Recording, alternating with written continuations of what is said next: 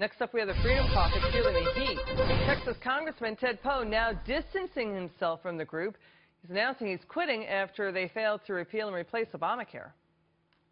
The Freedom Caucus was not united in opposing uh, the bill. About a third of us uh, wanted to go ahead and vote for the bill because, as you said, we spent an hour and a half with the President of the United States, with the Vice President, members of the Cabinet, uh, and talking about uh, trying to make this bill better. Changes were made, and at the end of the day, it still was a no, and I think that was uh, uh, improper to continue to vote no. Sometimes you got to say yes.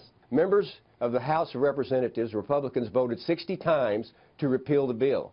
Now when it actually counts to repeal the bill and replace it some, they backed off. They got cold feet. President Trump also blasting the Freedom Caucus, saying, quote, Democrats are smiling in D.C. that the Freedom Caucus, with the help of Club for Growth and Heritage Foundation, have saved Planned Parenthood and Obamacare. To a voter whose congressman is in the Freedom Caucus for his reaction, he's Ken Thompson. He's with me now. Ken, Ted Poe leaving this caucus, is that a sign of things to come? What do you think? Well, I think it's a sign that the Freedom Caucus should consider rejoining the GOP. Uh, the Freedom Caucus seems to be sitting in the middle of the road somewhere, not quite sure what side of the aisle they should support. Should more congressmen follow them? What do you think? I think the Freedom Caucus has created an uh, unnecessary uh, problem for, for, the, for the president. We worked hard to uh, get our House member, Justin, reelected. We worked doubly hard to uh, turn Michigan uh, in support for President Donald Trump. I'm very proud of both efforts.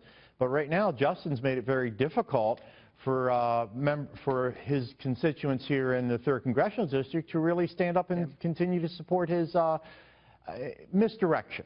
Yes, sir. You know, next topic we have the controversial MIT economist and Obamacare architect, Jonathan Gruber. He was paid nearly $400,000 by the government to basically put in place Obamacare. He's the guy who called Americans, quote, stupid. His view is that Obamacare is a step toward government-run health care. Let's listen. There is simply no way we are going to get single payer at the national level in the near future. If you like single payer, then Obamacare has to succeed. That's a soundbite from a few years ago. What do you think, sir?